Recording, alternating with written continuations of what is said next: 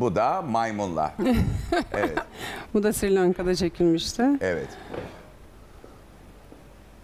Hayvanlara karşı bir şeyim var galiba. Evet. Maymun pipisini tutuyor orada. Evet, Hayır canım gerçekten. evet. Maymun pipisini tutuyor, sana bakarak pipisini tutuyor. Bir taciz fotoğrafı. Ya ben o fotoğrafa baktığımda hiç öyle bir şey görmedim. Sen nasıl görüyorsun öyle bir şeyi direkt? Ya Allah Enteresan. Allah canım.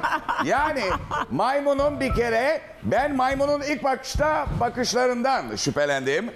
Evet, maymunun bakışlarından e, şüphelendim. Maymunun e, bakışları siz fotoğrafa bakmaya devam edin. Ben şey yapacağım. Maymuna bakıyoruz. Maymunun bakışlarını hiç beğenmediğim için ulen dedim ne yapıyor dedim. Bir eli böyle ne oluyor gibi kardeşim bu da ne bu da kim bu kadın da kim filan. Bacakları görüyoruz ve elin nerede olduğunu görüyoruz. Sen bunu Instagram'da mı yayınladın?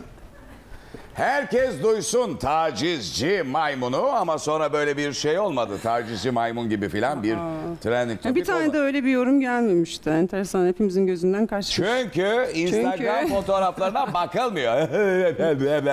Herkes onu baş parmakla sıyırırken oradaki ayrıntıyı görmüyor.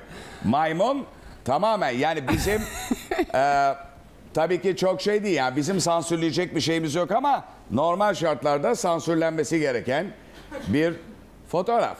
Evet. çok komikmiş ya. Evet. E, ne zaman bu? Ne kadar oldu? İki sene. İki sene önce. Evet.